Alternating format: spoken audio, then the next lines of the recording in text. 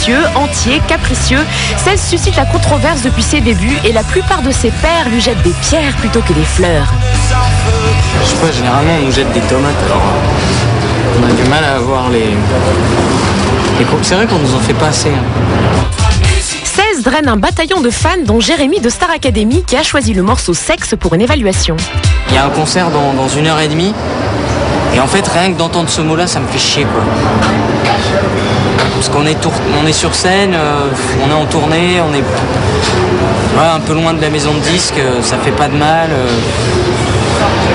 Ouais, je sais pas, moi je passe pas ma vie devant la télé, je m'en branle en fait. Enfin moi perso, j'en ai rien à foutre quoi.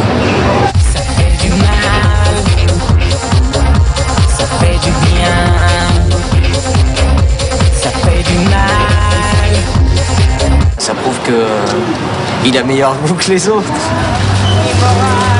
Je veux qu'on baisse sur ma tombe, je veux qu'on baisse sur ma tombe.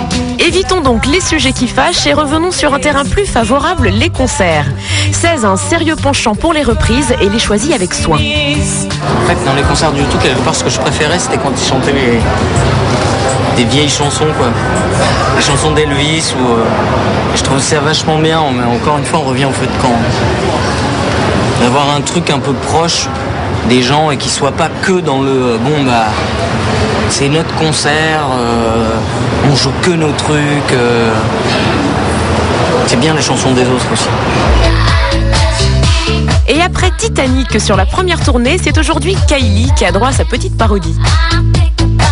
Putain, et décidément, entre la question sur Star Academy et la question sur Kylie Minogue, ça fait quand même, on va parler que de pop en fait. Bah y a pas de mal. Ah si si, là il y a du mal. Si si, il y a du mal parce que putain, il y a quand même d'autres choses quoi.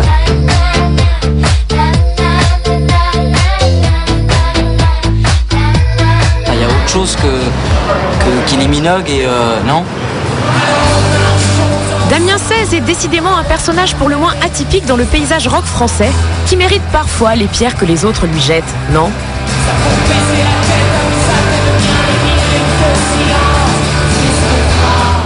Fait, franchement, les questions elles me saoulent. Bah écoute, on arrête. Ouais, je crois qu'il vaut mieux arrêter. Parce que, euh, tu vois, là, c'est- j'ai l'impression de faire un truc de people, quoi.